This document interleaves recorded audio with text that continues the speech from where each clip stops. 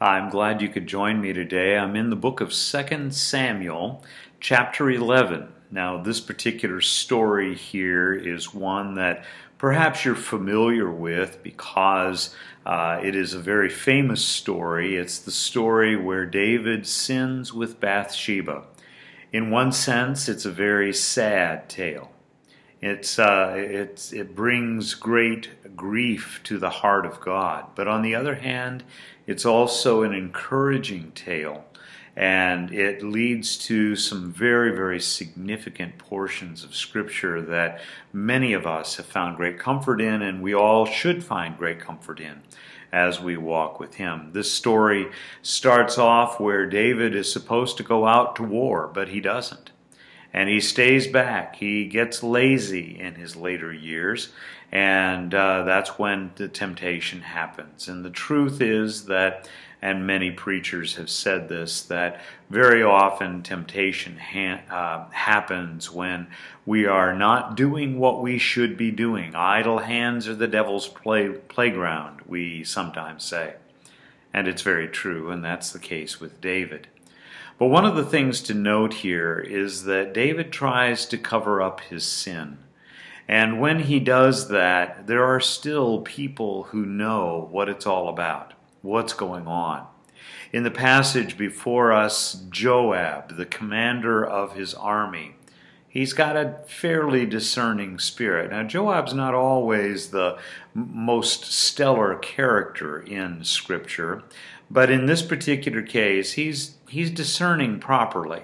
He understands that, that something's amiss with David and Uriah, that there is something significant going on right here. And so Joab is one who, um, who, who does know that something's up, something's amiss.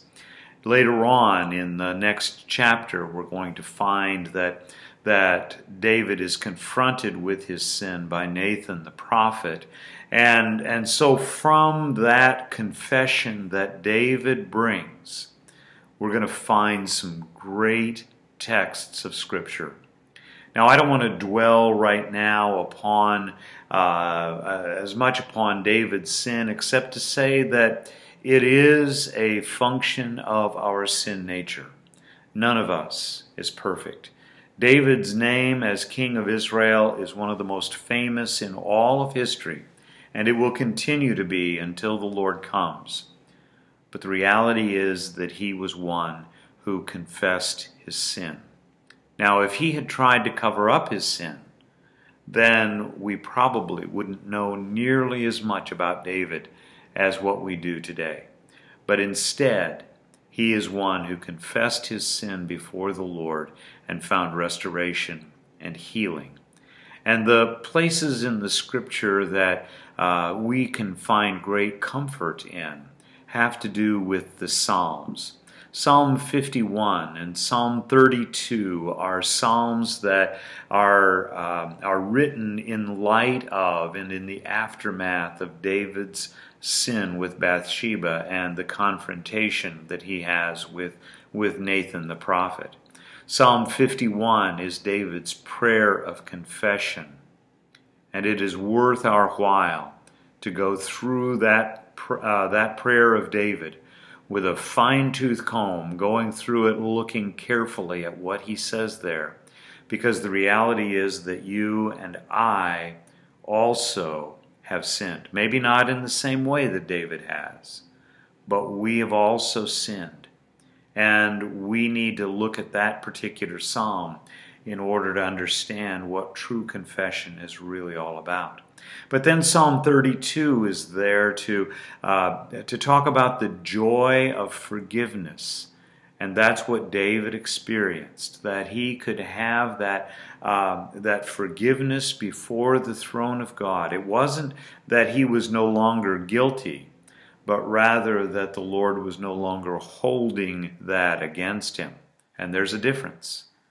David was always guilty of his sin with Bathsheba. But the good news is that David looked ahead to the atonement of Christ, and he saw in that atonement his own opportunity for forgiveness. And when that forgiveness came, the rejoice the rejoicing that flooded his soul was a very significant thing. Just as it is with you and me when we confess our sins and finally release that burden to him and know the the, the freedom and the um, uh, the, the joy of forgiveness. And that's what Psalm 32 is all about. So I said it's a sad tale. It is because there was great uh, discouragement that came upon the people. There was great uh, anxiety upon the nation. There was a rebellion that happened because of it. But there's also great hope because we can find forgiveness just as David did. I hope you found that forgiveness. Father, I ask you this, this day to strengthen us, to provide for us, to help us to keep short accounts with you. David's sin was something that he bore for, uh, for a good long time. But Father, we thank you that when he, when he confessed, and when he unburdened his heart and his life, you brought joy to his life, just as you have done for many, many others. Thank you that you've done it for me. Perhaps you've done it for each one who's hearing my voice now.